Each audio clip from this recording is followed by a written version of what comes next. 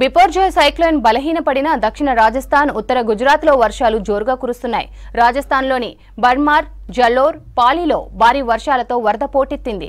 బర్మార్లోని గ్రామాల నుంచి జనాలను సురక్షిత ప్రాంతాలకు తరలించారు.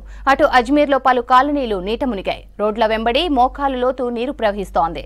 గడప దాటి బయటకు వెళ్ళాలంటే స్థానికులు జంకుతున్నారు. ఎటు చూసినా కాలనీలో వరద నీరే కనిపిస్తోంది. స్థానికులు ఈ విషయాన్ని తెలిపారు. వర్ష ప్రభావిత ప్రాంతాల్లో సహాయక చర్యల్ని ముమ్మరం చేశారు అధికారులు ఎన్డీఆర్ఎఫ్ ఎస్డీఆర్ఎఫ్ బృందాలు.